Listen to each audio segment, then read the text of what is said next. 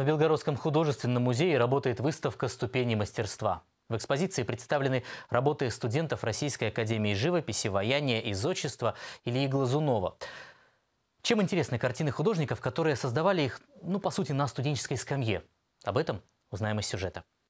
Портреты, эпизоды мировой истории, зарисовки человеческого тела, выполненные с удивительной анатомической точностью. Всего 67 работ выпускников и нынешних студентов Московской академии живописи. Можно проследить путь развития студента. Вот. И рисунок, и композиции, и курсовые постановки, и композиционные задания, и дипломные работы. Особенно заинтересованные посетители – начинающие белгородские художники. Для Ани Скопиной, будущего графического дизайнера, эти работы – источник для вдохновения и собственного творческого роста. Мастерство на самом деле потрясает, потому что, обучаясь, э, ты понимаешь, что есть куда стремиться и куда идти.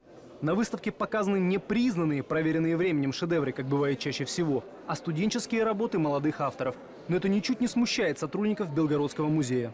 Работы, которые мы видим сегодня, может быть, э, именно эти художники через 50, через 100 лет займут достойное место в музеях нашей страны и не только нашей страны. Экспозиция Московской академии живописи будет работать до 15 декабря. Целая выставка «Единый творческий путь».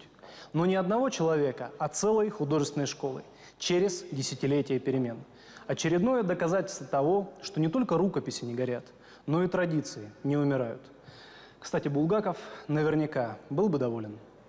Михаил Осадченко, Виталий Петренко. Такой день на Мире Белогорье.